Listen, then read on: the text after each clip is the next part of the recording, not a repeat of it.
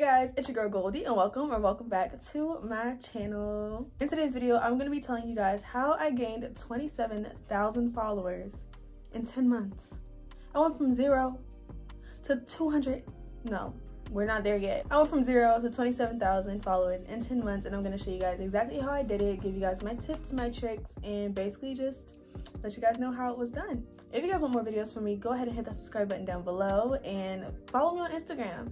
Let's make that 27k to 28k, okay? If you guys are interested in seeing my face, go ahead and follow my Instagram, which is in the beginning, the end, and the description box of today's video, and let's go ahead and get started. So I started my page in like mid-January of 2021, and this is what my page looked like before and as you guys can see there's like a theme with my presence here on social media um it revolves around my locks. So that's literally step number one. Step number one is finding your niche okay? Find your community. Find the people that you're wanting to cater to because that's what's going to help you complete the rest of the steps so that's step number one. If you're going to be a fashion person on instagram make sure that you know that. If you're gonna be a makeup person on instagram do that. If you're gonna be lifestyle you know what i'm saying? Figure out your niche and yeah so after that hashtags are going to be one of your best friends i have a set hashtag list in my notes that i just copy and paste on every single post and it helps the algorithm know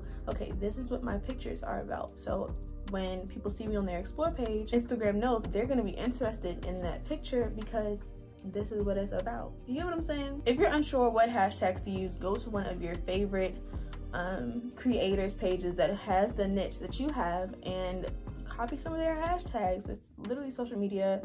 Copy the hashtags. I'm even gonna throw in my hashtag list that I use into the description box of today's video so that you guys who might be um, not really sure what happened, not sure what happened at all, but anyways, um, those of you who create lock related content, you guys can go ahead and use my um, hashtag list. Next thing is promos. So do not buy followers, do not buy likes, do not do any of that because it's not going to be beneficial. Those are bots and it's inauthentic. But there is a way for you to get promos and promote your stuff, but also have authentic followers come to your page. For me, I found pages that posted people with locks on their page that had a good amount of followers, and I paid maybe five to seven dollars for promos from them, and I'll put those pages in the description box below and on the screen as well. But um, pages like that really helped me grow my page because it was people that were already interested in what I was posting. They were seeing me, so then they were following me.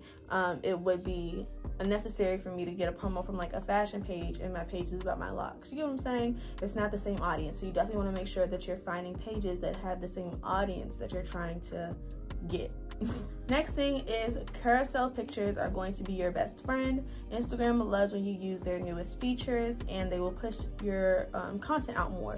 Also, with the carousel pictures, you gotta be careful because the first picture that you choose has to be the best one because that's what's gonna be popping up on the explore page. It has to be clickable. If I'm posting pictures and I put a meme first and then my pictures, it's not gonna help you on the explore page because people aren't gonna click on the meme if they're interested in lock related content. Does that make sense? And of course, I keep saying locks, but like this applies to everything. If you are a fashion blogger, replace the word locks with fashion. If you are a beauty blogger, you know, replace the words that I'm using because that's just what I'm used to. But this works for whatever you want to do. It's the same algorithm. So basically, it's all the same steps. Just figure out your audience and push forward. The next tip I have is consistency.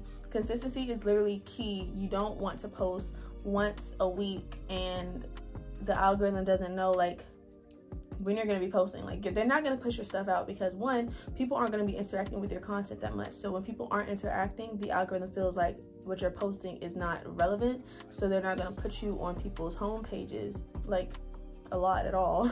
Next thing is creativity and uniqueness. With me, what skyrocketed my page was my hair color. So when people see my hair color and see my hair texture, it was very unique to them. So for example, if you're a fashion influencer, for example, I would recommend doing something out of the box and keep bringing that to the table. You know what I'm saying? Make people know, okay, if I follow you, I'm gonna be getting that. Or if you're a beauty blogger, do some really interesting, intricate looks and make people say, hmm, if I follow them, I'm gonna be seeing some amazing makeup looks. You know what I'm saying? So it just you have to be creative you have to be different like what makes you stand out from everybody else that's what's going to make people gravitate towards you and follow you. Next thing is interact with your comments your likes. When people um, reshare your posts. Go ahead and show some love. You know what i'm saying? That keeps people wanting to interact with your content.